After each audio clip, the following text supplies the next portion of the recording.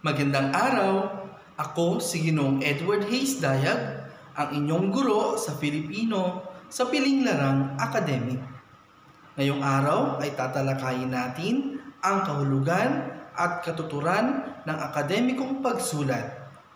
Ang layunin natin sa araw na ito ay natutukoy at nabibigyang kahulugan ang akademikong pagsulat. Ang mga paksang tatalakayin natin sa sesyong ito ay ang sumusunod. Ito ay ang makrong kasanayan sa pagsulat. Sa ilalim nito ay tatalakayin natin una ay ang iba't ibang uri ng pagsulat, pangalawa ay anyo ng pagsulat ayon sa layunin, pangatlo, proseso ng pagsulat, at pang-apat ay ang organisasyon ng teksto. Ngayon ay talakayin na natin ang unang paksa, ang makro kasanayan sa pagsulat. Ang paksang ito ay pagbibigay ng panimulang kaalaman at pag-unawa hinggil sa kahulugan, kalikasan, at katangian ng pagsulat ng sulating akademik. Tara, basahin natin ang tekstong makrong kasanayan sa pagsulat na makikita sa inyong module at bigyang pansin natin ang mga kahulugan nito na matatagpuan sa teksto. Makrong kasanayan sa pagsulat. Ang kasanayan sa pagsulat ay mahalagang malinang sapagkat sa pag-aaral mo bilang isang estudyante, ang pagsulat ay hindi lamang simpleng pagtataya ng ideya na inilalapat sa papel o minamakinilya sa computer. May prosesong nakalangkap sa akademikong pagsulat na iisa-isahin sa bahaging ito, kasama ang pagtalakay ng uri, anyo, sa layunin at organisasyon ng teksto. Alamin natin, ano nga ba ang pagsulat? Ang pagsulat ay artikulasyon ng mga ideya, konsepto, paniniwala at nararamdaman na ipinahahayag sa paraang pasulat, limbag at elektroniko. Nangangahulugan lamang na ito ay ang pagbubuo ng isang artikulo mula sa iyong ideya na kung saan ay inililimbag o isinusulat gamit ang ballpen o lapis sa isang papel. Maari rin na ito ay inililimbag gamit ang computer. Binubuo ang pagsulat sa dalawang yugto. Una na rito ang yugtong pangkognitibo. Ibig sabihin, nasa isip lahat natin ang ating mga isusulat nagkakaroon ng artikulasyon ang mga ideya, paniniwala, at iba pa sa dahilang masusing dumaraan ito sa isipan ng tao na napag-isipan, na isa puso, o naunawaan bago na isulat. Nangangahulugan po na ang yugtong ito ay ang pagbubuo ng mga ideya na nasa ating isipan bago ang proseso ng mismong pagsusulat. Ang ikalawang yugto ay ang mismong proseso ng pagsulat.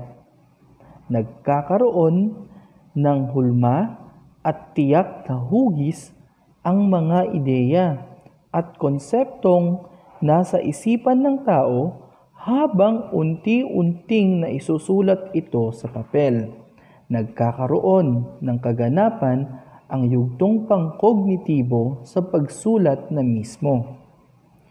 Ibig sabihin ay naisa sa titik na ang mga ideyang nasa ating isipan at naisusulat na ito sa ating pinaglilimbagan, mapapapelman o elektroniko.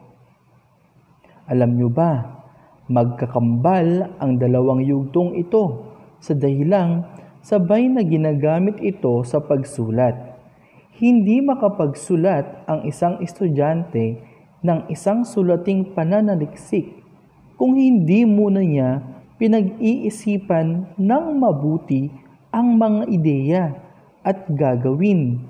Hindi niya marerebisa ang naisulat kung hindi niya tuloy-tuloy na pinag-iisipan ang nabubuong hugis at hulma ng naisulat na papel. Sa makatwid, mula simula hanggang wakas, magkasama ang dalawa. Halimbawa, sa pagsulat ng sanaysay at iba pang akademikong papel. Tatandaan na ang pagsusulat ay hindi basta-basta isinasagawa. Ang bawat salitang gagamitin ay pinag-iisipan at inaayos, saka ito isusulat. Sa paraang ito, mas maayos nating maisusulat ang mga bagay na nais nating sabihin sa ating isusulat. Ngayon naman ay ating talakayin ang iba't ibang uri ng pagsulat. Una na rito ang formal na pagsulat. Makikita ito sa inyong module sa ikalawang pahina. Ang formal na pagsulat, ito ay mga sulating may malinaw na daloy at ugnayan ng pangunahing paksa at detalyadong pagtalakay ng balangkas ng paksa. May sinusunod na proseso ang pagsulat at laging ginagamit dito ang ikatlong panauhan sa pagsulat ng teksto. Karaniwang mga halimbawa nito ang akademikong pagsulat ng sanaysay, pamanahong papel at thesis. Piling-pili ang mga salitang ginagamit sa pagsulat ng mga sulating formal. Madalas na ginagamit ang ganitong pagsulat sa mga importante at mga formal na gawain tulad ng pagsasagawa ng isang pananaliksik. Detalyado kasi ang mga ganitong uri ng pagsusulat sapagkat ibinabatay ito sa sinaliksik na kaalaman maayos ang pagpapabatid ng manunulat na nais niyang sabihin dahil malinaw ang paglalahad nito ng mga impormasyon. Ikalawa, ang di formal na pagsulat. Ito ay mga sulatin na malaya ang pagtalakay sa paksa, magaan ang pananalita, masaya, at may pagka-personal na parang nakikipag-usap lamang sa mga mambabasa. Ang, hilam, ang ilang halimbawa nito ay di formal na sanaysay, tala-arawan, kwento at iba pa. Ang ganitong uri ng pagsulat ay malayang nagpapabatid ng mga nasa isip at nadarama. Kadalasan ay may layunin itong magpahayag ng sariling saloobin sa paraang natural na pagkukwento. At ang, paghul- at ang panghuli naman ay ang kombinasyon. Ito ang ikatlong uri ng pagsulat. Malayo na rin ang narating ng malikhain at akademikong pagsulat sa bansa, lalo na sa hanay ng mga kabataang manunulat na nagsasagawa ng eksperimento, ng estilo, nilalaman at format ng pagsulat may mga scholarly papel na gumagamit ng tala o estilo ng pagsulat ng journal, liham at iba pang personal na sulatin. Kaya posibleng magkaroon ng kombinasyon ng formal at di formal na uri ng pagsulat. Ito ay ang pare ito ay ang paggamit ng parehong uri ng pagsusulat sa isang sulatin ang kombinasyon ng formal at di formal na pagsulat. Nagkakaroon lamang ng ganitong uri ng pagsulat kung halimbawa ay nagsasagawa ka ng isang pananaliksik. At isang paraan sa pangangalap ng datos ay ang pagsusulat sa isang journal na kung saan kaya nagiging formal ay dahil may layunin kang magsaliksik at nagiging formal dahil sa paraan ng iyong pagsusulat na may layunin namang makakuha lamang ng mga impormasyon at hindi pa nire-rebisa. Ngayon ay atin naman ang tatalakayin ang anyo ng pagsulat ayon sa layunin. Kung may mga katanungan kayo, maaari ninyong isulat ang inyong mga katanungan sa inyong module. Ngayon naman ay dumako tayo sa paksa tungkol sa anyo ng pagsulat ayon sa layunin. Una ay ang paglalahad. Tinatawag din itong pagpapaliwanag na nakasentro sa pagbibigay linaw sa mga pangyayari, sanhi at bunga at magkakaugnay ng mga ideya at pagbibigay ng mga halimbawa. Kilala rin ito sa tawag na expository writing. Ginagamit ito kung ang teksto ay nagbibigay linaw o nagpapaliwanag hinggil sa proseso, issue, konsepto, o anumang paksa na nararapat na alisan ng pag-aalinlangan. Isang halimbawa nito ay makikita sa inyong module, ang pagluluto ng bola-bola. Ipinapaliwanag diyan kung paano niluluto ang bola-bola at kung anong mga sangkap ang gagamitin. Pangalawang anyo ng pagsulat ayon sa layunin ay ang pagsasalaysay. Nakapokus ito sa chronological o pagkakasunod-sunod na daloy ng pangyayaring aktwal na naganap.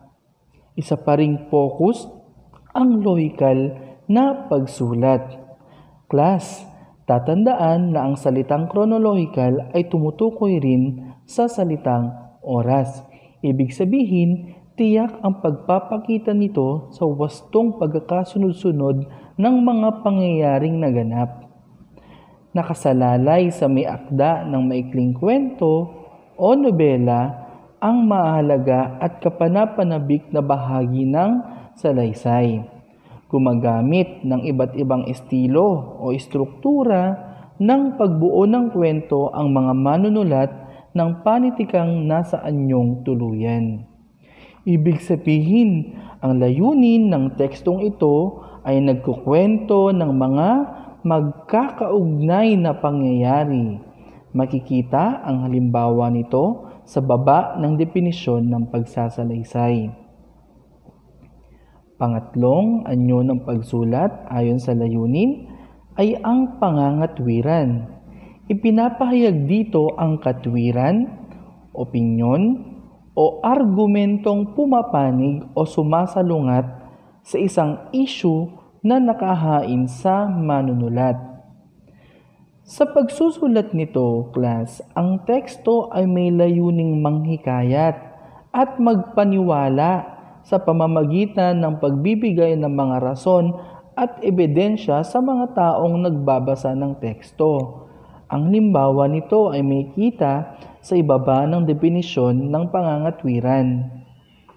At ang panghuli namang anyo ng pagsulat ayon sa layunin ay ang paglalarawan Isinasaad sa panulat na ito ang obserbasyon, uri, kondisyon, palagay, damdamin ng isang manunulat hinggil sa isang bagay, tao, lugar at kapaligiran. Ibig sabihin, naglalayon ang teksto na bumuo ng isang imahe o larawan sa pamamagitan ng paglalantad ng mga katangian nito. Makikita rin ang halimbawa nito sa ibaba ng definisyon ng paglalarawan. O class, malapit na tayong matapos, kaya't sana maunawaan ninyo ang mga aralin natin ngayon. Anumang, kat anumang katanungan ninyo ay maaring isulat sa inyong module nang sa gayon ay masagot ito sa susunod nating sesyon. Ngayon naman ay atin nang alamin ang proseso ng pagsulat. Tara! Ayon kay Isagani Cruz, na ituturo ang pagsulat sapagkat hindi naman namamana ang kakayahang ito. Pinag-aaralan sa mga paaralan ang proseso ng pagsulat upang maging epektibo at makabuluhan ang gawaing pangkomunikatibo at pang-akademiko. Tara, tingnan natin ang anim na yugto sa proseso ng pagsulat. Ang unang proseso ng pagsulat ay ang pagtatanong at pag-uusisa. Nabubuo sa prosesong ito ang paksa ng sulatin. Hindi ganap ang pagtatanong lamang, kung kaya't ang mausisang isipan ang nagbibigay daan para makahanap ng sagot sa tanong. Ang pag-uusisa ang pangunahing simula ng isang masinop na pananaliksik. Ibig sabihin, ang unang bahagi ng pagsusulat ay pagbubuo ng tanong sa ating isipan. Dito na papasok ang yugtong pangkognitibo. Nagiging mausisa tayo sa bahaging ito na siyang nagiging dahilan para matrigger ang isipan natin sa pagbuo ng mga ideya sa ating susulatin. Ang pangalawang proseso ng pagsulat ay palapalagay. Balisa o hindi mapalagay ang manunulat sa yugtong ito dahil patuloy siyang naghahanap ng sagot at maaring patuloy ang pagsulpot ng iba pang mga tanong.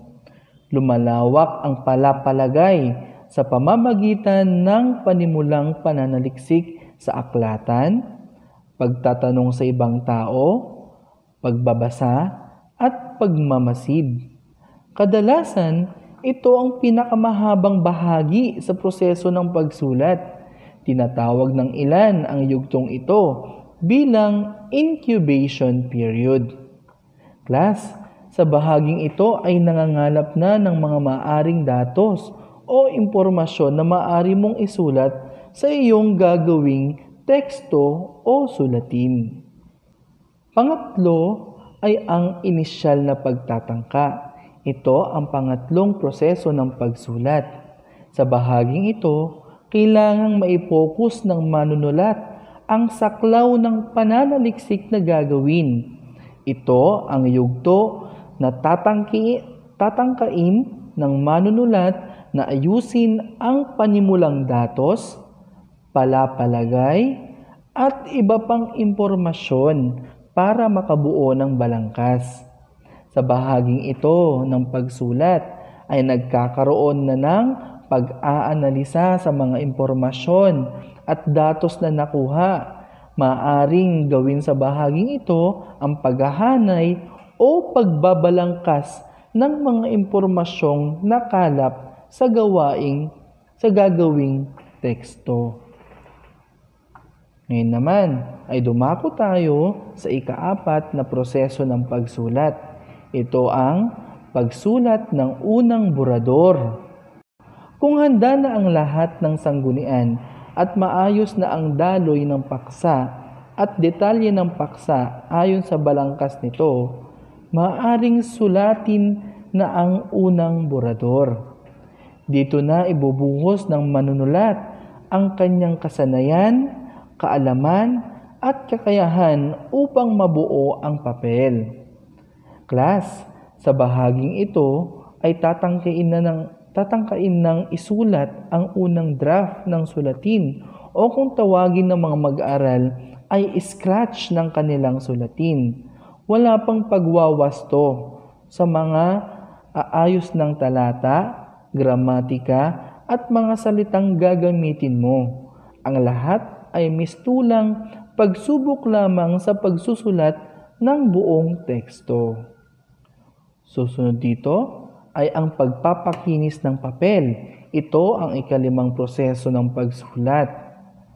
Kung tapos na ang unang borador, mulit-muling babasahin ito para makita para makita ang pagkakamali sa spelling, paggamit ng salita, gramatika at ang daloy sa pagpapahayag, impormasyon at katwirang nakapaloob sa komposisyon.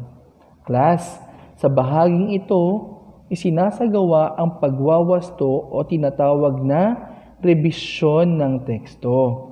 Sinusuri ng mabuti sa tekstong ito ang daloy ng pagpapahayag, mga salitang ginamit, gramatika, at ayos ng mga talata. Panghuli ay ang pinal na papel. Ito ang muling proseso ng pagsulat.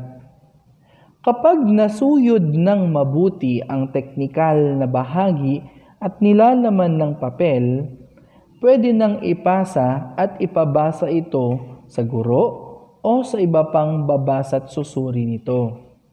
Class, sa bahaging ito ay maaari nang iprint at ilathala ang iyong teksto upang basahin ng mga susuri nito o sa guro na babasa ng teksto. Malapit nang matapos ang sesyong ito.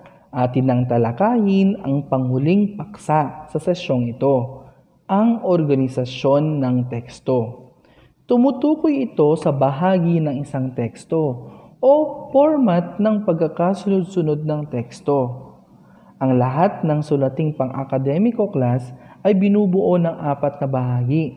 Tara, alamin natin. Ang unang bahagi ng teksto ay ang titulo o pamagat.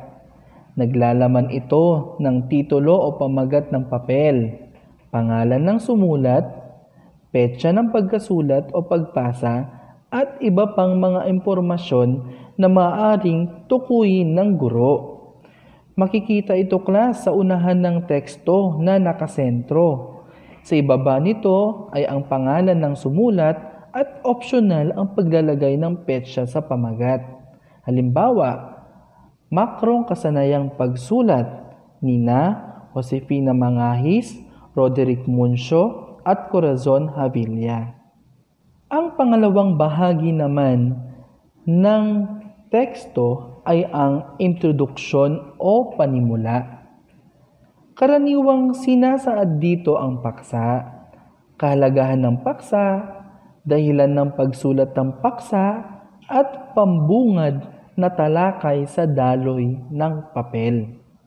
Class, ito ang unang talata na may kita sa isang teksto. Maraming paraan kung paano sisimulan ang panimula. Maaring magsimula sa isang tanong o kaya ay isang salawikain o kasabihan. Maaari ring isang siniping pahayag mula sa isang teksto, manunulat, o nakuhang pahayag mula sa isang tao na may kinalaman sa iyong paksa. Ngayon naman ay dumako tayo sa pangatlong organisasyon ng teksto. Ito ay ang katawan. Dito matatagpuan ang mga pangunahing pagtalakay sa paksa, ang pangangatwiran, pagpapaliwanag, pagsasalaysay, paglalarawan, at paglalahad ay matatagpuan sa bahaging ito. Class, sa bahaging ito inilalahad ang mga impormasyong nagpapatibay sa iyong sulatin. Ito ang bahaging nagbibigay linaw sa mga nais mong ipahayag sa mga mambabasa. Punong-puno ito ng mga impormasyong makatutulong sa mga mambabasa para maunawaan ang tekstong kanilang binabasa. At ang panghuli na organisasyon ng teksto ay ang konklusyon. Dito nilalagom ang mga mahalagang puntos ng papel. Isinasaad din sa bahagang ito ang napatunayan o napag-alaman batay sa paglalahad at pagsusuri ng mga impormasyong ginamit sa papel o sa pananaliksik. Class, ito ang huling bahagi ng isang teksto. Maaring binubuo lamang ito ng isang talata, ngunit nagpapahiwatig ito ng nabuong kaisipan mula sa mga nailahad na impormasyon o datos hinggil sa katanungan ng manunulat. Okay, class. Iyan ang mga paksa hinggil sa makrong kasanayang pagsulat. Ngayon naman, upang matiyak ang inyong natutunan sa aralin natin ngayon ay meron akong inihandang mga gawain at pagsasanay sa inyong module. May mga nakalaang espasyo sa bawat bilang ng bawat gawain na pagsusulatan ng inyong mga kasagutan. Sa unang gawain, balikan lamang ang teksto hinggil sa makrong kasanayan sa pagsulat. Tignan natin kung matatandaan pa ninyo ang mga impormasyong nabasa sa teksto sa pamamagitan ng pagsagot sa mga katanungang nasa inyong module. Sa pangalawang gawain naman, makikita dito ang ilan pang mga batayang kaalaman na maaaring magbigay sa atin ng mas malalim na pag-unawa hinggil sa kahulugan ng pagsulat. Sa gawain ito, gagawa kayo ng synthesis o buod ng mga kahulugan ng pagsulat na makikita ninyo sa gawain ito. Gawin ito sa kahon na makikita pagkatapos ng mga kahulugan. Basahin ang pamantayan bilang basehan sa mahusay na pagsulat. Sa pangatlong gawain, piliin lamang ang titik ng wastong sagot sa bawat pangusap at bilugan lamang ang iyong sagot. Ang bawat bilang ay may dalawang puntos. Sa ikaapat naman na gawain, tukuyin lamang ang wastong pagkakasunod-sunod ng proseso ng pagsulat upang matukoy ang nakatagong salita. Ilagay ang titik ng iyong sagot sa loob ng kahon. Sa ikalimang gawain, tukuyin ang hinihingi ng mga sumusunod na katanungan at ilagay ang iyong sagot sapat lang pagkatapos ng pahayag. Sa ikaanim na gawain, gumawa ng isang sanaysay o teksto na may pamagat na Bakit ako nagsusulat? Gawin ito sa nakalaang kahon sa ibaba Tingnan ang pamantayan upang makapagpamalas ng mas mahusay na pagsusulat ng teksto. Iyan lamang para sa sesyong ito. Kung meron kayong mga katanungan, ay maaari ninyong isulat sa inyong module nang sa ngayon ay masagot ito sa susunod na sesyon. Tandaan, ugaliin ang paghuhugas ng ating mga kamay at laging maging ligtas, manatili sa inyong mga tahanan at sumunod lagi sa mga panuntunang ibinababa ng ating gobyerno. Maraming salamat. Paalam!